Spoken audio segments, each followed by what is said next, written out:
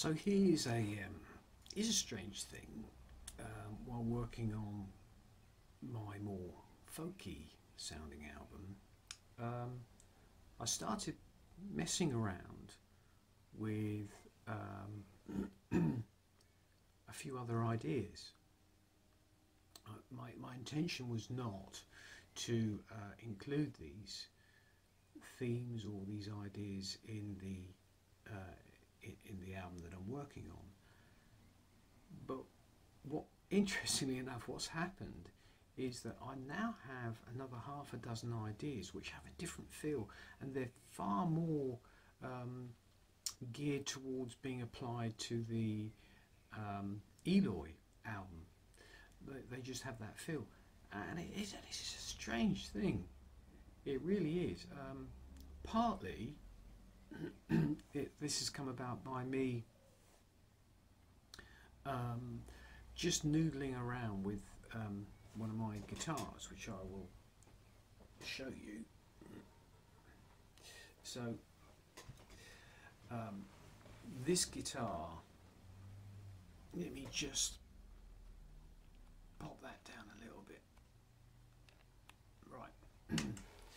so, um, this is a, a lovely guitar. And um, it is B and G. Uh, but it's tuned to open G. And of course when you retune a guitar and you, you you can't hit the chords that you would just automatically go to. And I, have I've got um, three different tunings on three different guitars that I can just pick up at any point and uh, make up chords essentially. That's what I've always done. I just make up chords. Half the time I don't even know, uh, although over the years that's not true. I do know all the basic chords now because I've played them for so so so long, and they're slightly. They might be inverted versions or they might be slightly different versions um, of standard chords. But um, I'm not bothered are because I don't read or write music. Um, it just has to, as long as I have a good enough ear, I can create stuff. So anyway, this guitar is tuned to G. And um, not knowing any chords, you end up trying to work out how to, to play a shape that, that sounds right. And um, so that's what I did with this one, with this guitar. Uh, and it's actually got, it's the only guitar I have that's got P90s. And I have to say, I've, I've fallen in love with the, with the P90 sound, with the, that, that sort of warm, driven sound, which can have a harsh edge. Um, it just sounds fantastic, um, just as it's breaking up. Got, got a real and I don't, I'm, I'm not into blues, but it's got a real sort of rich bluesy flavour to it. It's it's um, it feels um, uncomplicated, but actually it, it probably is quite complicated sound. You know when you when you actually break up and saturate a sound, you get all these extra little harmonics that, that just make it so much more of an interesting sound uh, in many ways. Um, and so yes, I've I've been mucking around with shapes and found some shapes that really did um, work well up and up and down the the fretboard. Um, and so what's happened with that is that that's especially with this slightly driven sound, bluesy sound, that's allowed me to write a few ideas and put them down on Logic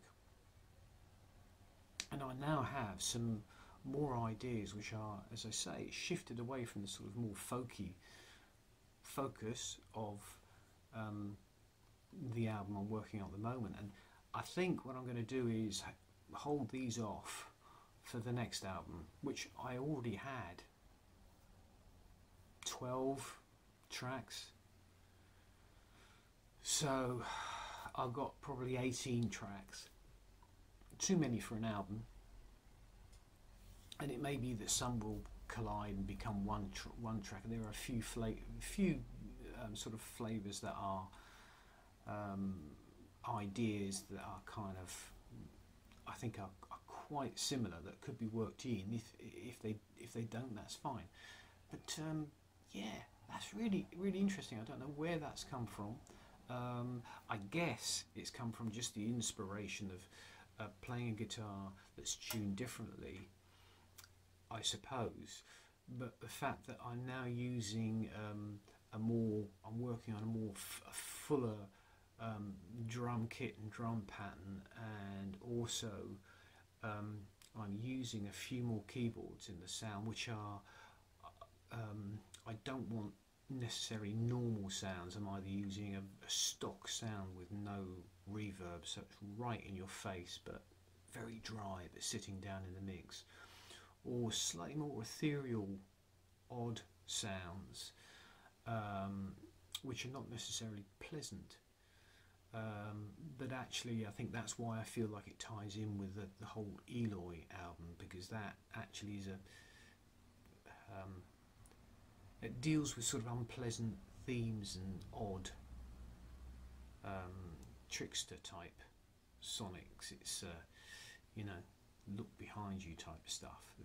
There is a sort of slight fearfulness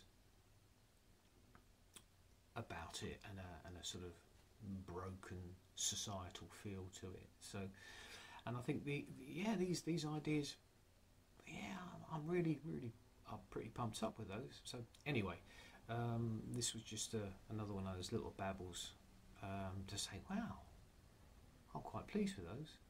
Um, I won't put anything up at the moment. Um, I need to make sense of them. I think they need to make a little bit more sense as a as a song. At the moment, they're just sort of swapping patterns and uh, they, they don't work well from that point of view. I need I need them to be able to flow um, uh, from beginning to end so that so that it feels like it could be a proper track and that I could add a vocal to it. Um, but there you go. Um, pleased with those, and um, we'll uh, we'll talk soon. You have a good day.